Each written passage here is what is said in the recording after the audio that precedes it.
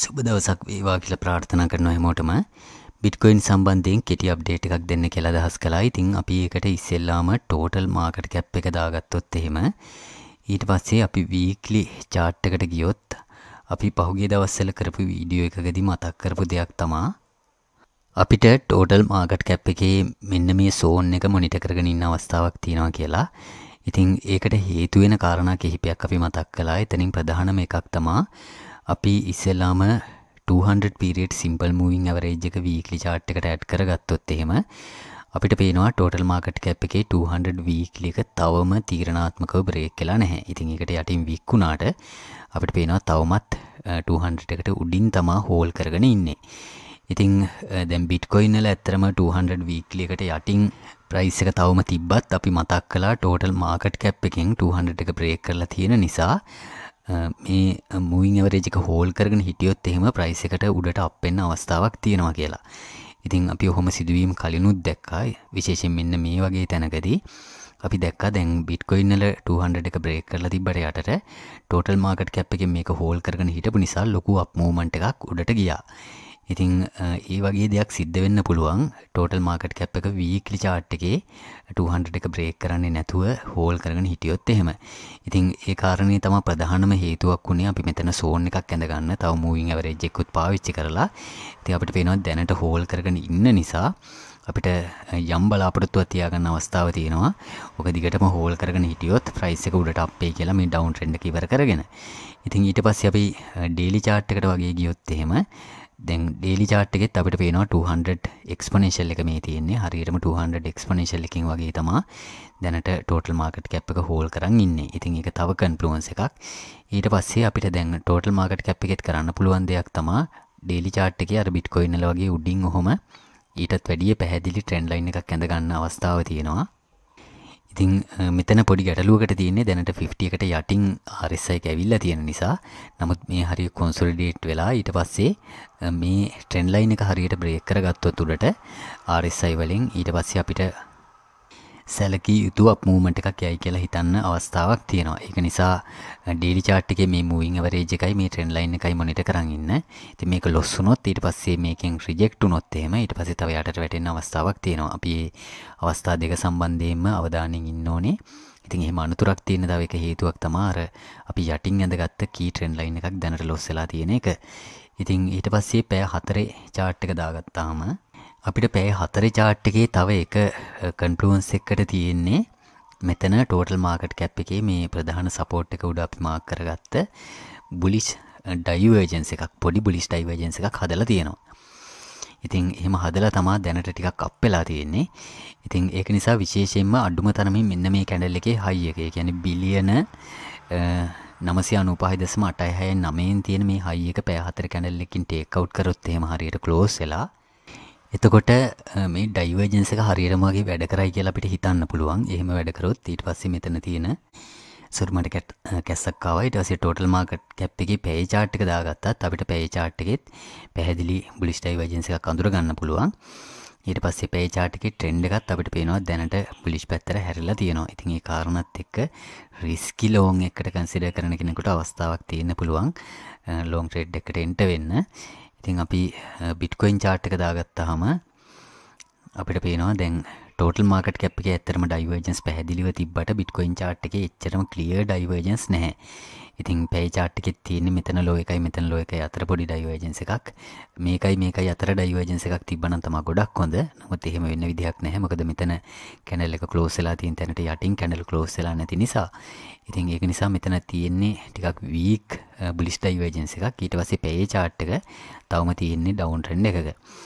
ඊට පස්සේ චොපි විදිහට වැඩ කරලා තියෙනවත් අපිට පේනවා. ඉතින් ඒ කාරණා එක මම අඩුම තරමින් පැයේ ට්‍රෙන්ඩ් එකවත් ආයෙසරයක් බුලිෂ් පැත්තට හැරුණොත් කන්සිඩර් කරනවා අර ටෝටල් මාකට් කැප් එකේ තියෙන කන්ෆ්ලුවන්ස් සහ සේරමත් එක්ක පොඩි ස්කාල්ප් ලෝන් එකකට එන්න වෙන්න. ඉතින් අපි පැය 4 දාගත්තාම අපිට පේනවනේ පැය 4 chart එක හරියටම පැහතර මිල්්ඩකෙන් වගේ තමා රජෙක්ටලා තියෙන විසි දෙදා සයිසේ පනසත්තයි දසමටෙන් තියෙන. ඒකයි මංකිවේ අර දැනට තින් සිටුවේෂණ එකත් එක්ක දැන් බිට්කොයින්නල ගත්තාම මෙන්න මේ කැඩල්ල එක හයකවත් හරියට ටේක්කවට් කරන්න ඕනේ. ගැන විසි දෙදස් හාරසී කියලගත්තොත් එහෙම වගේ ලෙවල් එකක්. එහම නැත්තම් පේචාට්ික අයිසරයක් හරියට අප්ට්‍රෙන්ඩ් එකට හැරෙන්න්න ඕනේ.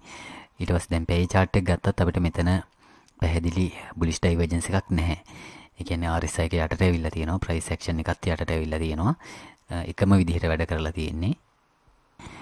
පැය හතර චාට් එකේ ඇත්තටම ඩයිවර්ජන්ස් එකක් නැහැ. ඊට පස්සේ ඒ කාරණාත් එක්ක අපිට අර හරියට පේ චාට් එකේ තියෙන මේ පොඩි ඩයිවර්ජන්ස් එක පාවිච්චි කරලා ට්‍රේඩ් එකට එන්ටර් වෙනවා නම් චාට් එක අනිත් පැත්තට හැරෙන්න ඕනේ. කියන්නේ බුලිෂ් පැත්තට හැරෙන්න ඕනේ. එහෙම වුණොත් තමයි අපිට ටෝටල් මාකට් කැප් එකේ තියෙන කාරණාත් එක්ක කන්සිඩර් කරලා ලෝන් එකට එන්ටර් වෙන අවස්ථාවක් තියෙන්නේ. ඉතින් එතකන් ටිකක් අවධානයෙන් ඉන්න අර පොඩි මූවමන්ට්ස් වලින් එකපාරට ලෝන් වලට එන්ටර් වෙන්න යන්න එපා. දැන් මේ මූමන්ට් එක එකපාරට දැකලා කෙනෙක් එන්ටර් වුණත් අපිට පේනවා ඊළඟ කැන්ඩල් එකකින් ලොකු ඩ්‍රොප් එකක් සිද්ධ වෙලා තියෙනවා කියලා. ඒක නිසා දැන් හරියට සපෝට් එකක තිබ්බත් ඩයිවර්ජන්ස් තිබ්බත් හරියට ට්‍රෙන්ඩ් එක අනිත් පැත්තට හැරෙනකන් ට්‍රේඩ් වලට එන්ටර් වෙන්න යන්න එපා. එහෙම එන්ටර් වෙනකොටත් ට්‍රෙන්ඩ් එක අනිත් පැත්තට හැරිලා ඒ කැන්ඩල් වල හයිස් ටේක් අවුට් කරාට පස්සේ එන්ටර් වෙන්න බලන්න. එතකොට ට්‍රේඩ් ලොස් වෙන එක සෑහෙනම අඩු කරගන්න අවස්ථාවක් තියෙනවා. ඉතින් ওই කාරණා ටික සම්පූර්ණයෙන්ම සම්පූර්ණ වෙනකන් මම ලෝන් වලට අලුතෙන් කන්සිඩර් කරන්නේ නැහැ. ෆෝමෝ වෙලා එන්ට වෙන්නත් එපා මොකද විශේෂයෙන්ම අර මාකට් එකේ දැනට තියෙන සිටුේෂන් එක ගත්තාම ටිකක් විතර බේරිෂ් සෙන්ටිමන්ට් එකක් තමා තියෙන්නේ. ඒකට හේතුව දැන් ෆන්ඩමෙන්ටල් පැත්තෙන් ගත්තත් ආයසරයක් SEC එකකින් ඉතාම තද බල විදිහට ක්‍රිප්ටෝ වලට ඇටැක් කරන්න පටන් අරගෙන තියෙනවා රෙගියුලේෂන්ස් ගේන්න අරවට මේවට. විශේෂයෙන්ම බයිනෑන්ස් වලට ලොකු ඇටැක් එකක් ආයසරයක් කරගෙන යනවා. දැන් බයිනෑන්ස් US වෙබ්සයිට් එකත් ඒ කියන්නේ ඒ ආයතනයත් අන්රිජිස්ටර්ඩ් සිකරිටස් ට්‍රේඩ් කරන. එහෙම නැත්තං අන්රිජිස්ටර්ඩ් සිකරිටි එක්ස්චේන්ජ් එකක් හැටියට ප්‍රකාශ කරලා තියෙනවා SEC එකින්. ඉතින් ඒ කට්ටිය දිගටම බයිනෑන්සල්ට ප්‍රහාරෙල්ල කරන්න අපි දැක්කා FTX එක කඩාගෙන වැටිච්ච තැනින් දම්ම බයිනෑන්ස් එක වට්ටන්ඩ ඉතාම ලොකු උත්සාහයක දෙනවා ඒකට අපි ඒ දවස්සලම මතක් කරා මූලිකම හේතුව තමා ක්‍රිප්ටෝ සම්බන්ධයෙන් ලොකු ඒකාධිකාරයක් ඇමරිකාවට ඇති කරගන්න බැරි වෙලා තියෙන්නේ බයිනෑන්සල තියෙන ස්ට්‍රෙන්ත් එක නිසා. මොකද විශාල යූස බේස් එකක් තියෙනවා විශාල ෆන්ඩ් ප්‍රමාණයක් තියෙනවා. ඒ සේරමත් එක්ක තමා ඒ සේරම ඇමරිකාව පැත්තර හරවගන්න බැරිකමත් තියෙන්නේ. ඉතින් ඒකට තමා ලොකු උත්සාහයක යෙදෙන්නේ.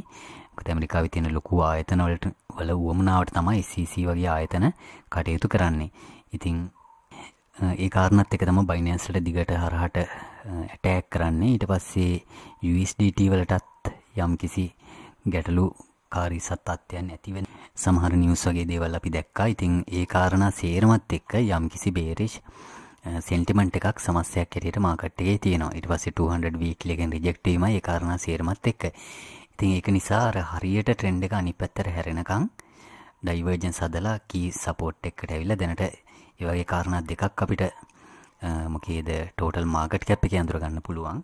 නමුත් බිට්කොයින්නල ඒ කාරණා හරියට සම්පූර්ණ වෙලා නැහැ. ප්‍රධාන සපෝට් එක තියෙන්නේ අපි ඒ කාරණය විතරයි තියෙන්නේ. ඒ කියන්නේ අපි ගත්තොත් එහෙම මෙන්න මේ W පැටර්න් එකේ නෙක් ලයින් එකයි මෙතන සිද්ධ වෙච්ච කොන්සොලිඩේෂන් එකයි සේරමත් එක්ක මේ ලෙවල් එක ටිකක් ස්ට්‍රෝං සපෝට් එකක්. එතකොට නමුත් හරියට ඩයිවර්ජන්ස් නැහැ. පැය චාට් එකේ පොඩි ඩයිවර්ජන්ස් එකක් තියෙනවා. පැය හතර ඩයිවර්ජන්ස් නැහැ. ඊට පස්සේ ට්‍රෙන්ඩ් එක තවම හරියට අනිත් පැත්තට හැරිලා නැහැ. ඉතින් ওই කාරණා ටික සේරම සම්පූර්ණ වුණොත් අපිට ටිකක් හොඳ පොසිෂන් එකකට එන්ටර් වෙන අවස්ථාවක් තියෙයි. එහෙම නැත්තම් කෙනෙකුට කරන්න පුළුවන් දෙයක් තමයි මෙන්න මෙහෙම ට්‍රෙන්ඩ් ලයින් එකක් උඩින් ඇඳගත්ත හැකි. මේ හරිය කොන්සොලිඩේට් වෙලා ඕක හරියට බ්‍රේක් කරනවාද කියලා බලලා අපිට ට්‍රේඩ් එකට ලෝන් එකට එන්ට වෙන්න අවස්ථාවක් තියෙයි. ඉතින් දැනට තියෙන මේ ලෙවල් එක බ්‍රේක් වුණොත් යටට ප්‍රයිස් එක තව ටිකක් යටට වැටෙන්න පුළුවන්. එහෙම වුණොත් අපිට මොනිටර් කරන් ඉන්න පුළුවන් ලෙවල් කිහිපයක් තියෙනවා. එතනින් මම ප්‍රධාන වශයෙන්ම මොනිටර් කරන් ඉන්නේ මෙන්න මේ ලෝස් ටේක් අවුට් කරයිද කියලා බලන්න. ඉතින් මේ ලෝ ටේක් අවුට් කරොත් අපිට පේනවා මෙන්න මේ සෝන් එකටත් ප්‍රයිස් එක එනවා. ඒ කියන්නේ 21300 ඉඳන් ඊට පස්සේ 20600 වගේ තියෙන සෝන් එකට එනවා මේ ලෝ එක ටේක් අවුට් කරොත් එහෙම. එතකොට chart එකේ අර කරුණු ටික සම්පූර්ණ වුණොත්. දැන් මේක ලොස් වුණොත් ඊට පස්සේ මේක තමයි key support එක. ඒක තමයි පළවෙනි කාරණේ. ඊට පස්සේ ඩයිවර්ජන්ස් හදන්න ඕනේ. ඊට පස්සේ ට්‍රෙන්ඩ් එක අනිත් පැත්තට හැරෙන්න ඕනේ.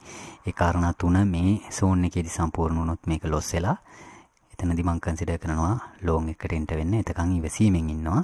මේ හරියදී කන්ඩිෂන් සම්පූර්ණ වෙන්නේ නැත්නම් මේ ට්‍රෙන්ඩ් ලයින් එක බ්‍රේක් වෙනවද කියලා බලලා ට්‍රේඩ් එකට එන්ට වෙනවා. එතකොට ඒක තමයි මගේ ට්‍රේඩින් ප්ලෑන් එක. ඉතින් ඊට පස්සේ අපි ලයිට් කොයින් චාර්ට් එක දාගත්තොත් එහෙම ලයිට් කොයින් අපි අර ටිකක් පොසිෂන් එකක් බිල් කරන්න උත්සාහ කරන නිසා දැන් මේ සෝන් එක අපිට පේනවා ලයිට් කොයින් වලින් තවම හෝල් කරන් ඉන්නවා ඉතින් ඊට පස්සේ පැය 4 මෙන්න මේ එක්ස්ට්‍රීම් සෝන් එකකටත් ඇවිල්ලා තියෙනවා. ඊට පස්සේ පේ chart එක දාගත්තොත් අපිට පේනවා පේ chart එකත් මෙතන W වගේ පැටර්න් එකක් හදලා ට්‍රෙන්ඩ් එකත් අනිත් පැත්තට හැරිලා තියෙනවා. ඒක නිසා මම පොඩි ප්‍රමාණයක් ඒ කියන්නේ ඇඩ් කරන්න පුළුවන් අඩුම ප්‍රමාණය මෙතනදී ඇඩ් කරනවා අපි අර උඩදී එන්ටර් වෙච්ච ලෝන් පොසිෂන් එකට. ඉතින් එතකොට පොෂන් සයිසික පොඩ්ඩක් විතර වැඩි වෙනවා ලික්විඩේෂන් ප්‍රයිස් එකක් උඩට එයි. නමුත් ඒක ගැටලුවක් වෙන්නේ නැහැ. ඇඩ් කරන්න පුළුවන් අවම ප්‍රමාණය තමයි මෙතනදී ඇඩ් කරන්නේ. මොකද මේක බ්‍රේක් කරගෙන යටට වැටුනොත් මේ සෝන් එක ප්‍රයිස් එක ගොඩක් ඩ්‍රොප් වෙන්න අවස්ථාවක් තියෙන නිසා එතකොට යටදී බයි කරන්න ඉතුරු ටික හෝල් කරගෙන ඉන්නවා. ඉතින් ඒක මම ලයිට් කොයින් වල අප්ඩේට් එකක් හැටියට දුන්නේ. ඊට පස්සේ ওই කාරණා ටික තමයි මට කෙටියෙන් මතක් කරන්න අවශ්‍ය වෙන්නේ. අපි ආයමත් මතක් කරනවා අර මාකට් එකේ දැනට තියෙන කන්ඩිෂන් එක එක පාරට පොඩි මූවමන්ට් වලදී ෆෝමෝ වෙලා ට්‍රේඩ් වලට එන්ටර් වෙන්න යන්න එපා. හරියට කන්ෆර්මේෂන් ගන්න හම්බෙනකන් ඉන්න ඉවසීමෙන් යුක්තව. එතකොට ගැටලුවක් වෙන්නේ නැහැ. පරිස්සමට ස්ටොප් ලොස් දාගෙන ට්‍රේඩ් කරන්න කියලා ඉල්ලා සිටිනවා. සුබ දවසක් වේවා කියලා ප්‍රාර්ථනා කරනවා හැමෝටම.